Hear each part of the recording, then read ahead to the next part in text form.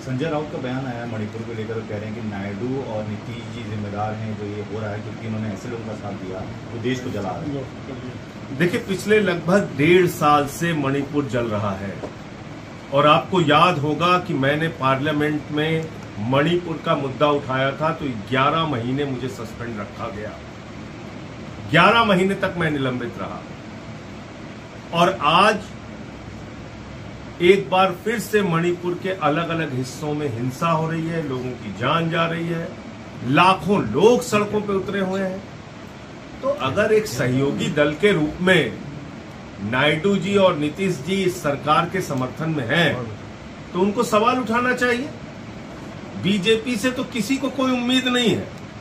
वो तो हिंसा में विश्वास रखती है, दंगे फसाद में विश्वास रखती है, नफरत की राजनीति में विश्वास रखती है। वो तो चाहती है मणिपुर जलता रहे। बीजेपी तो चाहती है कि देश का हर हिस्सा नफरत की आग में झोंक दिया जाए, देश को बांट दिया जाए। लेकिन नीतीश कुमार जी और चंद्रबाबू नायडू जी को ज़रूर सरकार से सवाल पूछना चाहिए कि उन्होंने मणिपुर की हिंसा को रोकने के लिए पिछले डेढ़ सालों में क्या कदम उठाए।